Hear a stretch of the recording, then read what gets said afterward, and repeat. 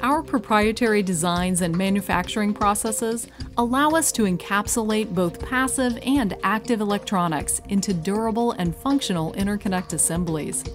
These extremely durable cable assemblies are used in patient wearable monitoring devices that meet ISO 10993 and US FDA biocompatibility requirements.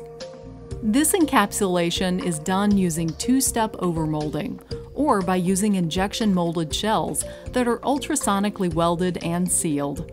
We not only handle larger wire gauges commonly used in medical interconnect systems, but also process much finer wire with 38 to 42 gauge conductors. These very small conductors allow cable diameters to be reduced while increasing cable flexibility.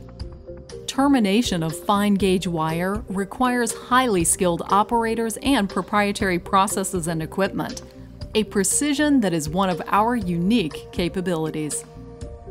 Using proprietary processes, we are also able to offer customers strengthened tensile wire assemblies and leads that exceed ANSI AAMI EC53 standards.